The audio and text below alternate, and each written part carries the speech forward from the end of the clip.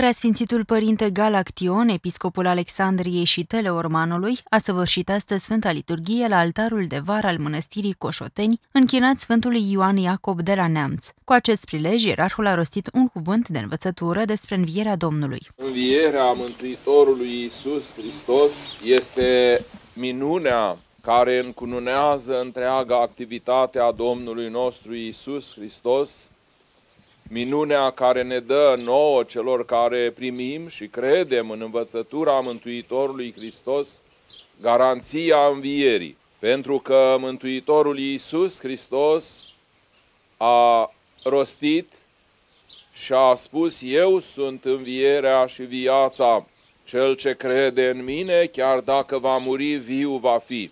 Dar tot Mântuitorul Iisus Hristos ne-a spus că prin învierea sa noi toți vom învia. Aceasta este credința pe care o propovăduiește biserica noastră, aceasta este credința pe care o mărturisim și noi de fiecare dată când rostim simbolul credinței și spunem aștept învierea morților și viața veacului ce va să fie.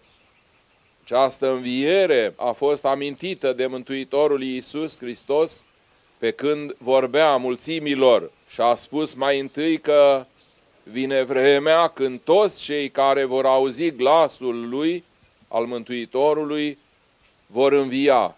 Deci odată ce aud glasul lui însemnează că nu sunt morți, sunt vii.